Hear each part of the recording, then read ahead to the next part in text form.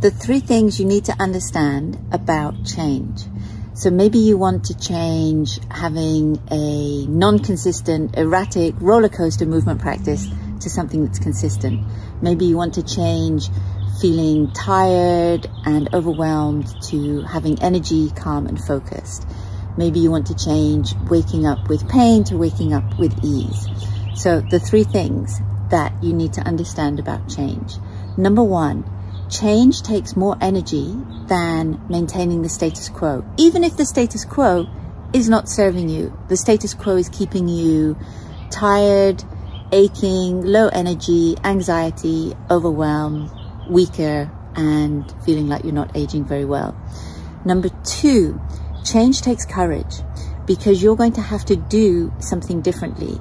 You may have to do something that requires kind of stepping out of your comfort zone. And that takes courage because you've maybe been conforming and you care a little bit too much about what other people think, even though maybe it's working for them, but it's not working for you.